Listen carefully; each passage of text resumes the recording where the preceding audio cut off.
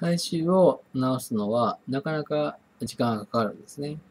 で、その時に体質がものすごく体臭に関係してますから、え治す時のコツっていうのは、まずは、えー、自分の体質を知ることなんですね。だから2点だけでいいので、まず考えないといけないのが、えーと、体っていうのは弱ってくると、えー、毒素が溜まる。だからその毒素を排泄すればいいのか、解毒だけすればいいのか、それとも、えー、体が弱りすぎて、タンパク質だ、なんとかだ、いろんな体の解毒機能が落ちることによって、それを、あと機能を補ってあげることで、匂いが溜まったのを出す。だから、陰性の人は、えっ、と、補いながら、えっ、と、解毒もしないとダメだし、陽性の人は、とにかく補うことよりも、解毒することをメインに考えないと治っていかないんですね。だから自分の体質の、え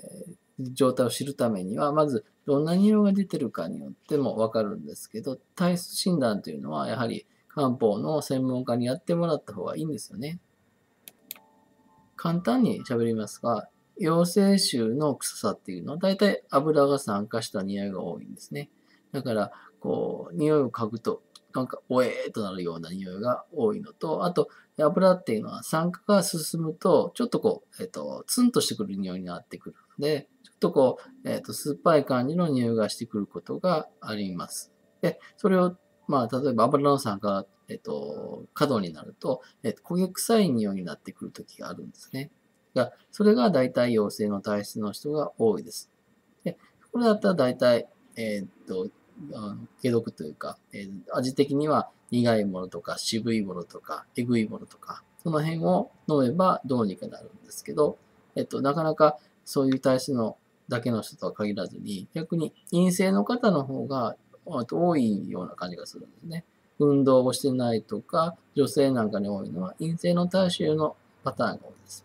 で、陰性の体臭っていうのはどんな感じかというと、えっ、と、どっちかというとカビっぽいような感じの匂いがしたりとか、水が腐ったような匂い、特に金魚鉢の中とか、金あの、え魚の水槽の中の匂いのようなか、そういう感じの腐敗臭をする場合が多いんですね。で、えっ、ー、と、体を、えー、解毒するものはちょっと体を冷やす、腸の発酵を止めるようなものが多いんで、えっ、ー、と血流が悪いと、えやっぱり悪くなっちゃうんですね。だから陰性体臭の人は、えー、間違えて陽性体質用のサプリとかを飲むと、一旦ちょっと解放に向かったような気がするんですけど、えっ、と、後々だんだんあの、体質がひどくなりますから。だから、以前よりも悪くなってしまったということが、大体あの、間違えたものを飲むことによって、体質があの違う方向に、から、大体陰の人がさらに陰になるパターンが多いような感じがします。だから、まず体質は、えーと、漢方の専門の方にまず相談して、え、まず体質を知ってから治療をしたらいいと思います。